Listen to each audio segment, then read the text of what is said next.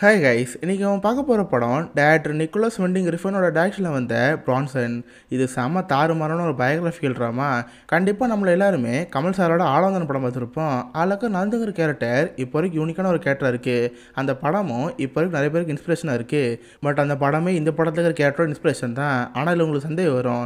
ஆலோந்தன் release ஆனது ரெண்டாயிரத்தி ஒன்று இந்த படம் வந்தது ரெண்டாயிரத்தி எட்டு. அது அப்புறம் ஏழு வருஷத்துக்கு முன்னாடி ஒரு கேரக்டர் இன்ஸ்பைர் பண்ணி படத்துக்கு முடியும் உங்களுக்கு தோணும். அது எப்படின்னு இந்த படத்தை பார்த்து நம்ம தெரிஞ்சுக்கோம் இந்த படங்கிறது சார்லி பிரான்சனுங்கிற ஒரு ரியல் லைஃப் கேரக்டரை பேஸ் பண்ணுது. சரி இப்போ வாங்க பிரான்சனுங்கிற இந்த கதைக்குள்ள போகலாம் படத்தோட ஸ்டார்டிங்கே நம்ம ஹீரோவான சார்லஸ் பிரான்சன் காமிக்கிறேங்க. பார்த்தா அவர் ஸ்டேஜில் இருக்கான். அவனை சுற்றி நிறைய மக்கள் உட்காந்துருக்காங்க ஆக்சுவலாக இந்த படம் ஃபுல்லாக ஒரு சர்லிஸ்டிக் டோனில் தான் போகும். ஒரு எக்ஸாம்பிள் சொல்லணும்னா நெஞ்ச மரப்பதில் படம் பார்த்துருப்போம். அந்த படத்தில் எஸ்டி சூர்யா ஆனவன ஒரு கனவு மாதிரி கம்பார் பார்த்தா ஒரு ஸ்டேஜில் அவரை பற்றி அவரே பேசுகிற மாதிரி இருக்குங்களே கிட்டத்தட்ட அதே மாதிரி தான் ஸோ இந்த பிரான்சனுங்கிறவன் அவனை பார்த்த கதை அவனே சொல்ல ஆரம்பிக்கிறான். எல்லாரும் என்ன மைக்கேல் பீட்டர்சன் கூடுவாங்க பட் எனக்கு அந்த பேரை பிடிக்காது. எனக்கு நானே வச்சுக்கிட்ட பேர் தான் சார்லஸ் பிரான்சன். அது என்னோட ஆல்டர் ஈகோ அதை பற்றி நீங்கள் தெரிஞ்சுக்க போகிறீங்கன்னு இவனே அந்த கதை சொல்ல ஆரம்பிக்கிறான். கட் பண்ணால் நம்ம ஹீரோ ஒரு ஜெயிலில் இருக்கான். பார்த்தா சால்டரி கன்ஃபைன்மெண்ட் மாதிரி இருக்குது ஒரு கூண்டில் நம்ம ஹீரோ அடிச்சு வச்சிருக்காங்க. ஃபுல்லாக ஒரு நிறுவனமாக இருக்கான். திடீர்னு நாலஞ்சு போலீஸ் வந்து அவனை போட்டு மொத்த மொத்தம் ஊற்றுறாங்க நம்ம ஹீரோ உடம்புலேருந்து ரத்தம் வந்துட்டுருக்கு பட் அதை பற்றி எதுவுமே கண்டுக்காம அவன் போட்டு சிரிச்சிட்டு இருக்கான். அவனுக்கு என்ன ஆச்சு? ஏன் அப்படி அடிக்கிறாங்கன்னு இப்போ வரைக்கும் நம்ம ஒன்றும் தெரில கட் பண்ணால் இவன் சைல்ட்ஹுட்லேருந்து கதை போகுது. நம்ம ஹீரோ சின்ன பையனாக பறந்துருப்பான். பட் சின்ன வயசு வயசுலேருந்தே இவனுக்கு வயலன்ஸாக ரொம்ப பிடிக்கும். யாரையாவது போட்டு அடிக்கிறது மூஞ்சி மூஞ்சா குத்துறதுன்னு இந்த விஷயங்கள் அவனுக்கு ரொம்ப பிடிக்கும். இதனால் ஸ்கூலில் இப்போ பார்த்தா சண்டை தான் போட்டுட்ருப்பான் இவன் கிளாஸ் பசங்கன்னா சிக்கினா போதும் மூக்கு அடிச்சு உடச்சி விட்ருவான் ஒரு கட்டில் அந்த பசங்களை தாண்டி ஸ்கூல் வாத்தியாரை போட்டு அடிக்க ஆரம்பிச்சிருவான். டேபிளில் உடச்சி சாரை போட்டு அடிச்சிருப்பான். அந்தளவுக்கு முருகவும் மாறி இருப்பான். இந்த விஷயம் போலீஸ் தெரிய வந்திருக்கும். பட் அவன் சின்ன பையன் தானே. ஜஸ்ட் அவங்க அப்பா அம்மாட்ட வான் மட்டும் பண்ணி அவன் ஸ்கூலில் டிஸ்மிஸ் பண்ணியிருப்பாங்க. இதுக்கட்டு அவன் ஸ்கூலுக்கு போகவும் பிடிக்காது. சரி வேற எங்கேயும் வேலை பார்ப்போமேன்னு சொல்லி அந்த ஊரில் சின்னதாக ஒரு பேக்கரி இருக்கும். அங்கே வேலை பார்த்துட்டு இருப்பான். இவன் கூட எலனாங்கிற ஒரு பொண்ணு கோவருக்குள்ள வேலை பார்த்துட்டு இருக்கோம் ரெண்டு இடத்துக்குள்ள சின்னதாக ஒரு லவ் சொல்லிட்டு இருக்கோம் ஒரு நாள் அவங்க ஓனர் வெளியே போனப்ப இவன் இந்த பொண்ணை பார்ப்பான் ஹே உனக்கு அதை வேணுமா? வேணா நான் வாங்கி தரேன்னு சொல்கிறப்ப ஒரு இயரிங் மாதிரி கேட்பா. இவனும் உடனே ஓனரே கேட்காம கல்லாப்படி திறந்துடுவான் அழகர் காசில் எடுத்து ஒரு ரூபா நோட்டு கூட கொடுப்பான் இந்தா இதை வச்சுக்கோ. இதை வச்சு இயரிங் வாங்கன்னு சொல்கிறப்ப அந்த பொண்ணுக்கு சமாச்சரியமாக ஆச்சரியமாக இருக்கும். தென் இதுக்கடுத்து அவன் பாட்டு வீட்டில் இருக்கிறப்ப அவரோட ஓனர் கமெண்ட் பண்ணியிருப்பார் போல. ஸ்ட்ரெயிட்டாக போலீஸுங்க வந்துடுவாங்க டேய் நீ கடலில் காசு ஆட்டை போட்டியா? உண்மையை சொல்கிறேன்னு சொல்கிறப்ப இவன் மட்டும் அமைதியாக உட்காந்துருப்பேன் திடீர்னு என்ன நினச்சான்னு தெரில போலீஸை போட்டு குத்து குத்து குத்த ஆரம்பிச்சிருவான். இதுக்கடுத்து போலீஸ் சும்மா விடுவாங்க.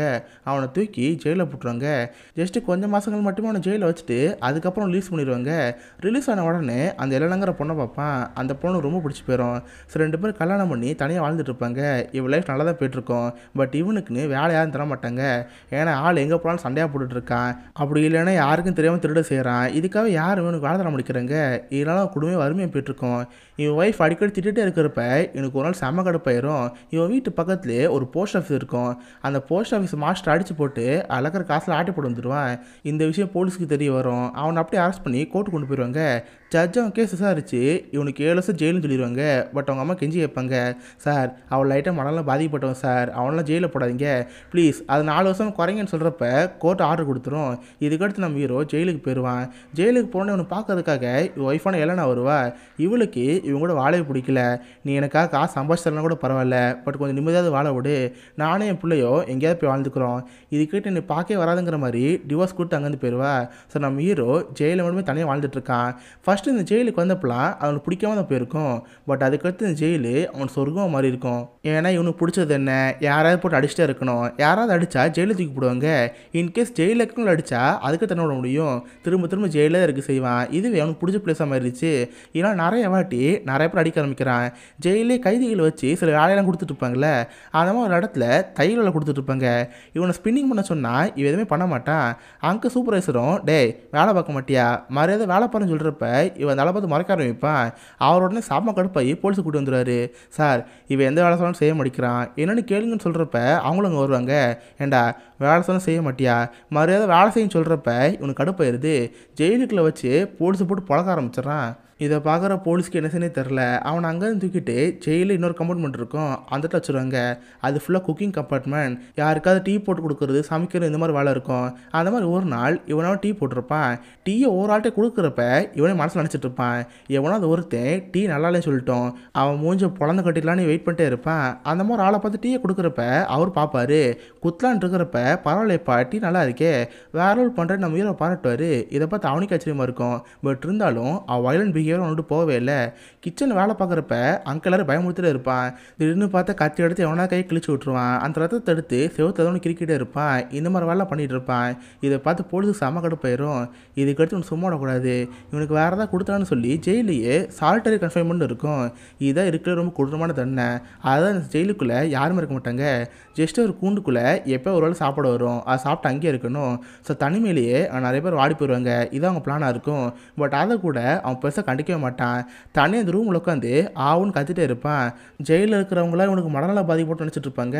அதனால் அந்த ஜெயிலையே ஒரு மெடிக்கல் கேம்ப் மாதிரி இருக்கும். அந்த இடத்துக்கு இவனை கூட்டி போவாங்க. அந்த இடத்துல ஒரு ஜெயில் மாதிரி வச்சு இவனுக்கு மாத்திரைலாம் கொடுத்துட்டு இருப்பாங்க. பட் மாத்திரை கொடுக்க வரவங்களையும் இவன் போட்டு அடிக்க ஆரம்பிச்சிருவான். இதை பார்த்து அவனுக்கு கடுப்பாயிரும். வேறு வழியே இல்லை. இதான் பண்ணியாருன்னு அவனுக்கு குப்புற படுக்க போட்டுருவாங்க மைக் யூஸ்லாம் போட்டு அவனை எப்போ மயக்கமாக வச்சுருப்பாங்க. இதெல்லாம் அவனுக்கு சுத்தமாக பிடிக்கவே பிடிக்காது. இதுக்கு பேசாமல் சால்ட்டரை கன்ஃபர்மேட்டாக எவ்வளோ பெட்ரு இங்கே தான் டார்ச் தான் பண்ணிட்டு இருக்காங்கன்னு நினச்சி இவன் முடிவு எடுக்கிறான் பார்த்தா அந்த இடத்துல ஒரு பீடோஃபைல் குற்றவாளி இருப்பான். இவனை கொண்டா கண்டிப்பாக நம்மளை அங்கே போட்டுருவாங்கன்னு சொல்லி அவனை கொல்ல ட்ரை பண்ணுவான். இதனால் போலீஸில் அவனை தடுத்து நிறுத்தி அவனை சால்ட்ரி கன்ஃபைன்மெண்ட்டில் போட்டுருவாங்க. சரி கிட்டத்தட்ட பல வருஷங்கள் இவன் அங்கேயே இருப்பான். கோர்ட் அவனுக்கு ஏழு வருஷம் தந்துருப்பாங்களே வளர்ந்து கிட்டத்தட்ட பத்து வருஷம் ஆகியிருக்கும். எப்படியோ ஒரு அந்த அண்ணன் காலில் முடிஞ்சு அவனை அங்கே வெளியே நிற்பாங்க இவனு வெளியே வந்து பார்க்குறப்ப இவங்க அப்பா அம்மா இவனுக்கு வெயிட் பண்ணிட்டு இருப்பாங்க. அவனை வீட்டுக்கு கூட்டு போகிறப்ப வந்து பார்த்து வீடே மாறி இருக்கும். இவன் சின்ன வயசுல இருந்த ரூம்லாம் மாறி இருக்கும். அம்மா இது என் பெட்டே கிடையாது. என் பெட்டு எங்கன்னு கேட்குறப்ப ஏன்டா பத்து வருஷம் ஆயிடுச்சு இன்னும் அந்த பெட் அப்படியே இருக்குன்னு கேட்குறப்ப எனக்கு இந்த வீட்டில் இருக்கவே பிடிக்கல. கிட்டத்தட்ட நம்ம ஹீரோ நந்தி கேரக்டர் மாதிரி தான் வயலன்ஸாகவும் இருப்பான். அதே நேரத்தில் குழந்தனமாக நடந்துக்குவான். இவனுக்கு சுத்தமாகவே இந்த வீட்டில் இருக்க பிடிக்கல. நம்ம அப்பா அம்மா நம்ம கண்டிக்க முடிக்கிறாங்க. நம்ம மாமா ஒருத்தர் இருக்கார்ல அவரை பார்க்க போகணுன்னு இவன் போல ட்ரெயினர் கிளம்பி போயிடுறான். பார்த்தா மாமா ஒருத்தர் அங்கிள் ஜாக் இருப்பார் அவர் போய் மீட் பண்ணுவான். அவர் பார்த்து ஒரு பெரிய பணக்காரரு. எப்போவுமே சுற்றி நாலு பொண்ணுங்க சரக்குன்னு சமாஜாலே வாழ்ந்துட்டு இருப்பாரு. இவனு போய் அவரை பார்க்குறப்ப அவரு கூட வச்சுக்குவார். பட் இவனுக்குன்னு வாலெட் எதுவுமே இருக்காது. சும்மா அவங்க மாமாவோடய தான் இருப்பான். அப்போ தான் ஒரு நாள் இவர் ஆளை பார்ப்பான். யாருன்னு பார்த்தா ஜெயிலில் இருந்தப்ப ஒரு நாள் காஃபி போட்டு கொடுத்துருப்பான். இவன் காஃபி கூட நல்லா இருக்குன்னு சொல்லியிருப்பார்ல அவர் அங்கே இருப்பார்.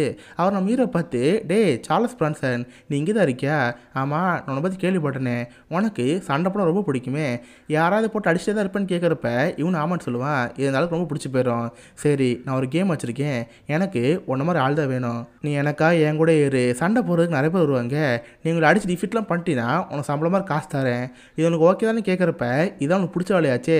சரின்னு அந்த ஆள் கூட இருக்கான். பார்த்தா ஒரு ஃபைட் கிளப் மாதிரி ஒன்று வச்சிருப்பாரு. எவனாவது காசு கொடுத்து இவங்க கூட சண்டைக்கு வரலாம். ஜெயிச்சா அந்த காசு டபுள் ஆகும். இதுக்கு நிறைய பேர் வருவாங்க. பட் ஒருத்தனை கூட நம்ம சும்மா விட மாட்டான். போட்டு அடியே நடிச்சு அவன் மூஞ்சில் பொழந்து கட்டிடுவான் அதில் விடாம தோத்தவங்க மூஞ்சில் இவரு நடிச்சு விட்ருவான் இந்தளவுக்கு மோசமாக இருப்பான். இப்படியே கொஞ்சம் கொஞ்சமாக அவன் வயலண்ட் பிஹேவியர் அதிகமாகிட்டே இருக்கு.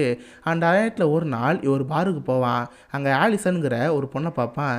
இந்த பொண்ணுக்கு ரொம்ப பிடிச்சி போயிடும் அவகிட்ட பேசி ஃப்ரெண்டாக மாறலாம் ட்ரை பண்ணுவான். பட் அவளுக்கு அது பிடிக்கவே பிடிக்காது. டே எனக்கு பிரைன்கிற ஒரு லவர் இருக்கான். அவங்ககிட்ட மோட்டர் பைக்கில் இருக்குது நான் அவனை தான் லவ் பண்ணுறேன்னு சொல்கிறப்ப இதை பார்த்து எனக்கு கோவம் வந்துடுது என்னது மோட்டர் பைக் வச்சுருக்கானா? அப்போ அதோட நான் சம்பாதிச்சு நீ கல்யாணம் பண்ணிக்குவ. இப்போ என்ன பண்ணுற பாருன்னு இவங்க வந்து பக்கத்து கடைக்கு போவான். பார்த்தா ஒரு வாட்ச் கடை மாதிரி இருக்கும். இவன் இந்த இடத்துக்கு போய் ஓனர்கிட்ட பேசிட்டு இருப்பான். ஓனர் உனக்கு கஷ்டமாக நினச்சி சார் வாங்க சார். என்ன வாட்சோன்னு கேட்குறப்ப உன் பணம் தானே வேணும் மூக்கில் குத்துருவான். அந்த ஓனர் அங்கேயே மயக்க முடி கிழந்துருவார் பக்கத்தில் இருக்கிற பொண்ணை பார்த்து இங்கே பாரு நான் உன்னை எதுவுமே பண்ண மாட்டேன். எனக்கு தேவையான காசு மட்டும்தான். நான் இங்கேருந்து போய் பத்து நிமிஷம் கழிச்சு சேச்சே பதினஞ்சு நிமிஷம் கழிச்சு அப்புறம் தான் போலீஸ் ஃபோன் பண்ணுறேன் புரியுதான்னு கேட்குறப்ப அந்த பொண்ணு பயந்து போய் ஆமாம்னு சொல்லுவா. இவனு கல்லாப்பட்டில் இருக்கிற காசில் ஆட்டை போட்டு வந்து ஒரு டைமண்ட் ரிங் வாங்கியிருப்பான். அது ஆலிசு கிட்ட காமிச்சு பார்த்தியா டைமண்ட் ரிங் உனக்காக நான் இருந்திருக்கேன் ப்ளீஸ் இப்போ நீ கல்யாணம் பண்ணிக்குவா. ப்ளீஸ் ப்ளீஸ் கெஞ்சி கேட்குறப்ப அப்போ தான் சொல்ல ஆரம்பிப்பா டே பிரெயின் ஒன்று என் லவர் கிடையாதுடா. நான் அவனை ஆடே கல்யாணம் பண்ணிட்டேன். நான் அவனை கல்யாணம் பண்ணிக்க முடியாதுன்னு சொல்கிறப்ப இதை பார்த்து பிரான்சர் செம கடுப்பாயிரும். கட் பண்ணால் போலீஸே வீட்டுக்கு வந்துடுவாங்க இவன் பதினஞ்சு நிமிஷம் கழிச்சு ஃபோன் பண்ணி சொல்லியிருப்பால படத்தை பொண்ணு சீக்கிரமாக ஃபோன் பண்ணியிருக்கோம். ஸோ போலீஸ் அவனை வந்து கொத்த தூக்கிட்டு போயிடுவாங்க இவன் மேலே ஆல்ரெடி கேஸ் இருக்குல்ல.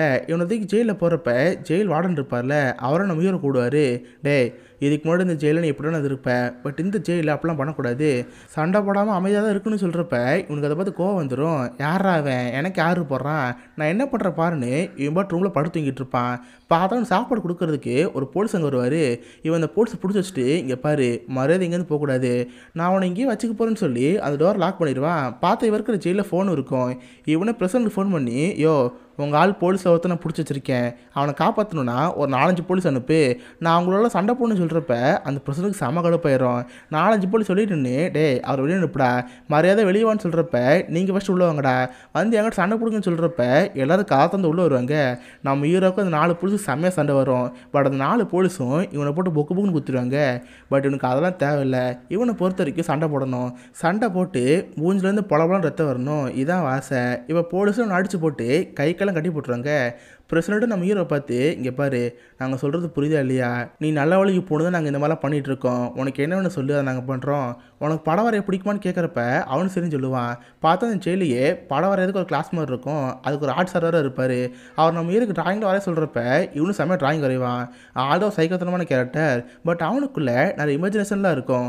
அது எல்லாத்தையும் வேறு லெவலில் படமாக வரைவான். கிட்டத்தட்ட ஒரு வாரத்துக்கு எந்த ஒரு வயலன்ஸும் இன்வால்வ் ஆக மாட்டான். இதை பார்த்து சாருக்கு ரொம்ப பிடிச்சி போயிடும் அவன் டிராயிங்லாம் வாங்கிட்டு அந்த ஜெயில் வார்டனை பார்க்க போவாங்க?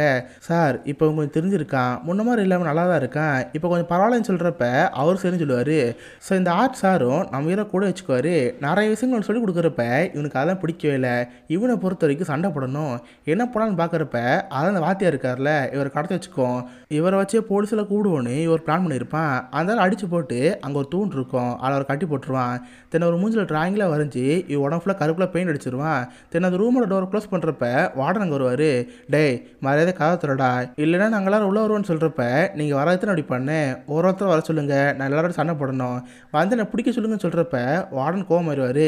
பொறுத்தது போகுண்டா அவனை போய் என்னென்னு பாருங்கன்னு சொல்கிறப்ப எல்லா போலீஸ் வருவாங்க. இவனும் செம முருகமாக அவங்களுக்காக வெயிட் பண்ணிகிட்டு இருப்பான். ஒரு ஒரு போலீஸாக வரப்ப அவங்க மூஞ்ச குத்திட்டு இருப்பான். பட் நாலு போலீஸ் ஒன்றா சேர்ந்து அவனை போட்டு புலம்பலம் புலந்து எடுத்துருவாங்க பார்த்தா அவன் மூஞ்சி ஃபுல்லாக ரத்தம் அழிஞ்சிட்ருக்கு. தென் அவனை அப்படியே அங்கே தூக்கி சால்ட்டரை கன்ஃபர்ம் இருக்குல்ல அதில் போட்டுருவாங்க.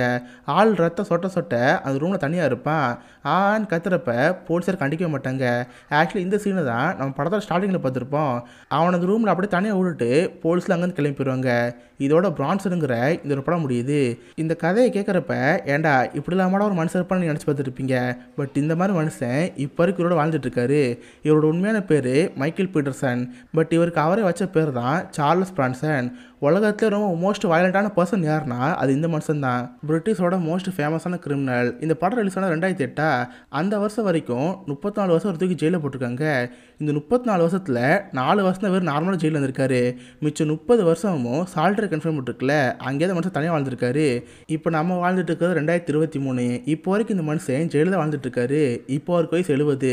பட் அப்போ கூட அவர் விடாமல் இவர் ரொம்ப வயலண்டான ஒருத்தன். இவன் ஜெயிலில் தான் இருக்கணும்னு இப்போ வரைக்கும் அவர் ஜெயிலில் தான் இருக்காரு. ஸோ இந்த ரியல் லைஃப் கேரக்டர் கமலஹாசன் அவர்களுக்கு ரொம்ப பிடிச்சி போயிருச்சு. ஸோ இந்த கேரக்டர் இன்ஸ்பிரேஷனை வச்சு தான் ஆளாந்தான் படத்தில் நந்து கேரக்டர் உருவாக்கியிருப்பாரு. சேம் அதே மாதிரி மொட்டை வித்தியாசமான கண்ணாடி ஆள் கோவமாக இருப்பார் அதே மாதிரி குழந்தரமாக நடந்துக்குவார் இந்த மாதிரி எல்லாமே ஆளாவந்தன படத்தில் இருக்கும். ஜஸ்ட் அது ஒரு கேரக்டர் இன்ஸ்பிரேஷன் தான்.